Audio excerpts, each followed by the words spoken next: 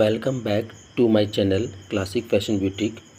मैं आज आपको उत्तर प्रदेश राशि टंडन मुक्त विश्वविद्यालय के एक नोटिस के बारे में आपका ध्यान आकर्षित करना चाहता हूँ।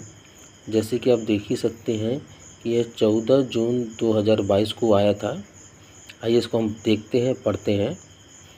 सेवा में समस्त प्राचार्य समय उत्तर प्रदेश राशि टंडन मुक्त विश्वविद्यालय प्रयागराज से संबंध।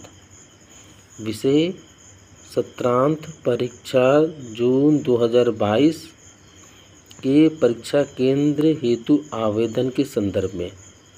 आप देख रहे हैं, जून 2022 की परीक्षा कराने के लिए उत्तर प्रदेश राशि टंडन मुक्त विश्वविद्यालय ने अपनी तैयारियाँ शुरू कर दी हैं। महोदय, महोदया, विश्वविद्यालय की सत्रांत परीक्षा जुलाई 2022 के द्वितीय सप्ताह में प्रस्तावित है। यदि आप राज्य सरकार की मंशा के अनुरूप सुचितापूर्ण परीक्षा संपन्न कराने हेतु परीक्षा केंद्र निर्धारण के लिए निर्गत दिशा निर्देशों के अनुपालन हेतु प्रतिबद्ध हों।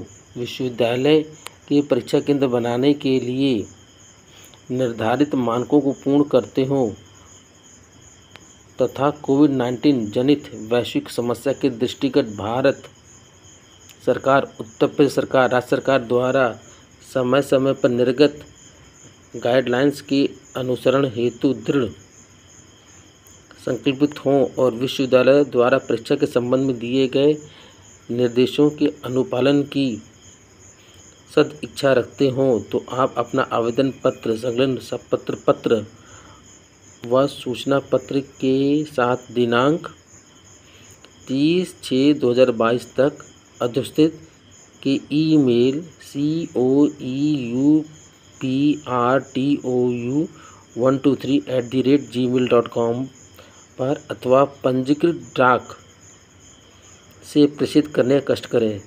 नियत तिथि के पश्चात आवेदन पर विचार किया जाना संभव नहीं होगा। देख ही रहे विश्वविद्यालय ने संस्थाओं से और कॉलेजों से परीक्षा संपन्न कराने के लिए, जून 2022 की परीक्षा संपन्न कराने के लिए आवेदन मांगा है। इससे ये पता चलता है कि जुलाई के दूसरे सप्ताह में टंडन की परीक्षा होना संभावित है। ये देख लीजिए, शपथ पत्र का प्रारूप दिया हुआ है।